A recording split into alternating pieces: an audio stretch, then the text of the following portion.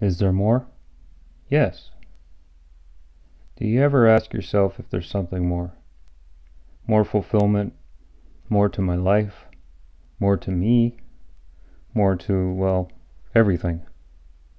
Can there be a way for us to sometimes drown out the world? To see and hear stories of how courtesy and good manners are being replaced by rudeness and contempt is disturbing. This is not what God wishes us to endure. It's not this way everywhere or all the time, but it may seem so. If we really try, we can reverse this quiet tsunami of indifference. Stop and look around at the marvelous world that God has given us. Be amazed at what you see, smell, and hear every day. Realize that the very first breath you drew when you wake is your first daily gift from God. Be thankful before your feet touch the floor. Genesis 1 1 says, In the beginning, God created the heavens and earth.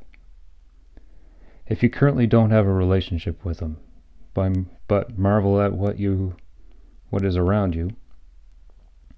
Know that there is a Creator, and He is God. Just stop and speak the name of Jesus. He is waiting for your invitation to come into your life, and He won't come alone. He'll have God the Father, the Creator, with Him. He will call on you to invite everyone you know to His banquet. Matthew 22 9 says, Go to the street corners and invite to the banquet anyone you find. Is there more? Yes.